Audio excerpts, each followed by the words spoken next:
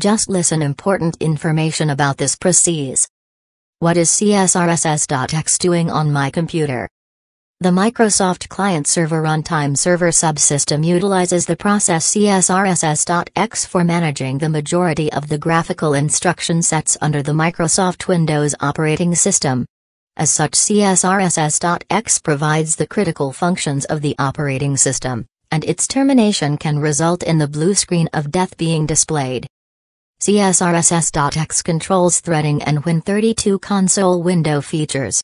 Threading is where the application splits itself into multiple simultaneous running tasks. Threads supported by CSRSS.exe are different from processes in that threads are commonly contained within the process, with various threads sharing resources within the same process. The Win32 console is the plain text window in the Windows API system. Programs can use the console without the need for image display. In mobile devices such as notebooks and laptops, the process CSRSS.exe is closely dependent on power management schemes implemented by the system as defined under the Control Panel option. CSRSS.exe is a system process that is needed for your PC to work properly. It should not be removed. Is CSRSS.exe harmful? This process is considered safe. It is unlikely to pose any harm to your system. Can I stop or remove CSRSS.exe? Since CSRSS.exe is a system process it should not be stopped.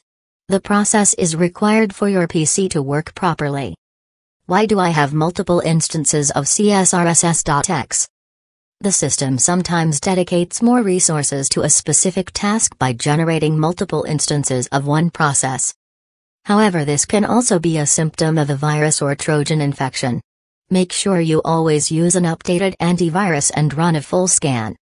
The original CSRSS.exe from Microsoft is located in the C colon backslash Windows backslash System 32 folder.